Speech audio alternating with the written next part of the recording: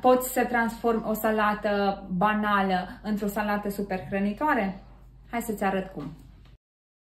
Ai nevoie de valeriană, de rucola, de spanac, de ridichi, de morcov, de roșii, de frunze de pătrunjel, de năut, de avocado, de semințe de cânepă și de fulgi de drojdie inactivă.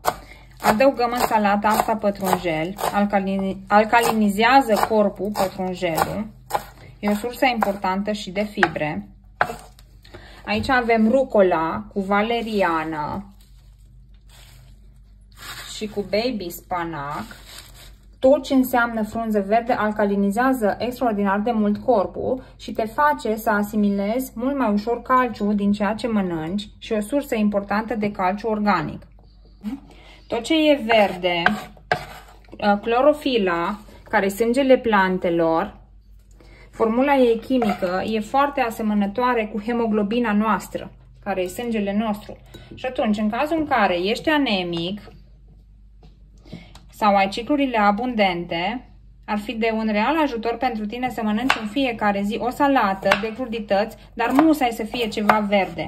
Adăugăm și ridic, care, pe lângă antioxidanții care se găsesc în coajă, sunt și o sursă de vitamina C, care vitamina C uh, se duce alături de clorofilă și asimilezi mult mai bine fierul din clorofilă și anemia dispare. Adaug și morco pentru un plus de beta-caroten, beta-caroten de care atât pielea noastră cât și ochii au nevoie de el. Adaug năut pentru sursa de proteină din salată. Adaug semințe de cânepă pentru omega-3 cu efect antiinflamator în corp.